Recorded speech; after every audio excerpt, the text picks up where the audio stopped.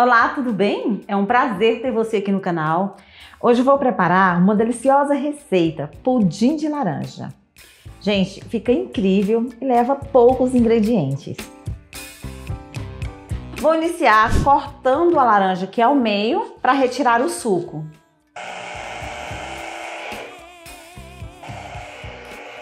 Terminei de tirar o suco da laranja. Agora eu vou colocar o leite condensado porque eu vou precisar da caixinha para medir o suco. Eu sempre abro a caixinha do leite condensado aqui no fundinho, porque ele fica a parte mais grossa do leite condensado vai para o fundinho e aí fica mais fácil de retirar o leite condensado. Agora eu vou despejar aqui. Agora eu vou medir o suco.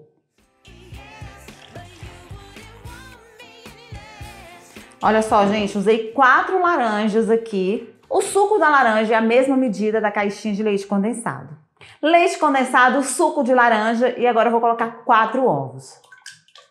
Vou bater essa mistura por três minutinhos.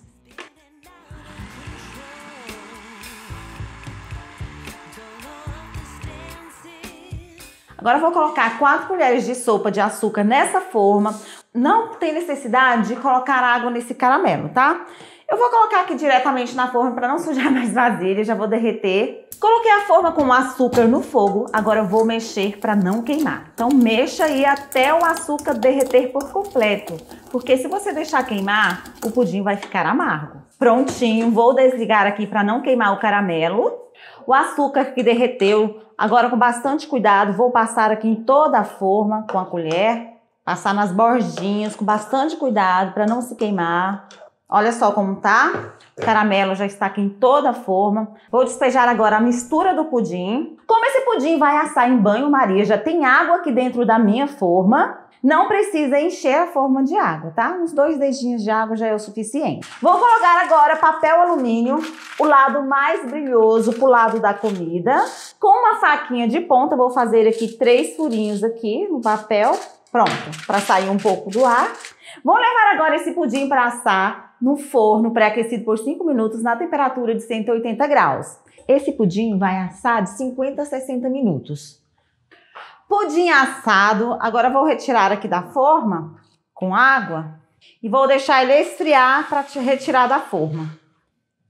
Pudim esfriou, então vamos tirar aqui para ver como o pudim ficou.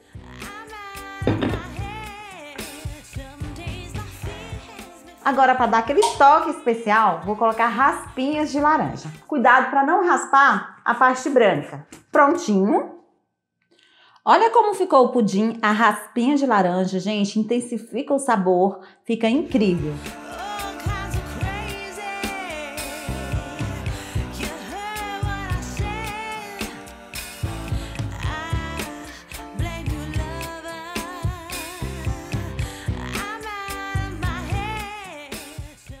Se gostou do vídeo, deixa seu like, um comentário. Se não é inscrito, se inscreva para mais receitas saborosas como essa.